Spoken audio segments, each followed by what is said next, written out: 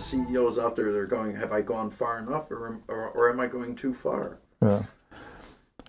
That's that's a complex question because often companies are social or socially responsible because there's a business benefit.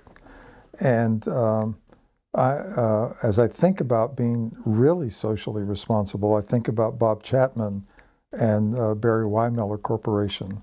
And uh, Bob Chapman, who's a person that I've had the uh, privilege of meeting on a couple of occasions, uh, he was uh, he he's a CEO of a 7,000 person company, and it's a very successful company.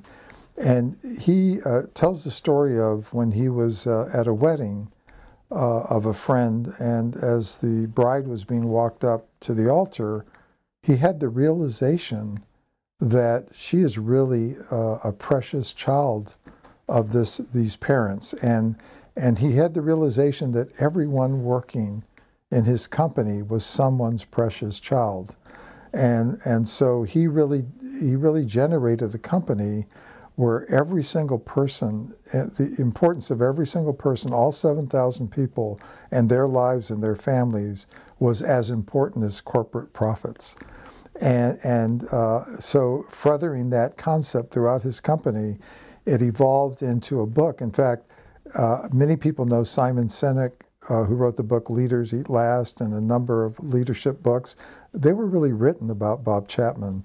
And, and uh, there's a recent book by Fred Kiel called Return on Character, which is a wonderful book, in which he also talks about Bob Chapman.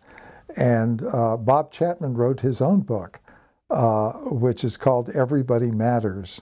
And so I think if you talk about a, a socially responsible corporation, in my judgment, Barry Wehmiller Corporation is as close to it gets in the corporate world today. I do think that other corporations will emulate them because it has been very good for business because people give you their best when they're treated with respect and, and dignity.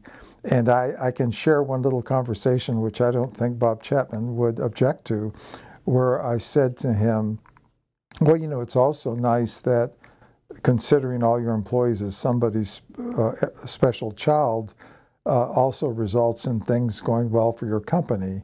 And his response to me was, That's not the reason I'm doing it.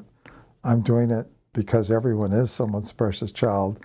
And if it didn't lead to uh, increases in the bottom line, then I'm sure the board would have something to say about it, but it's not that important to me.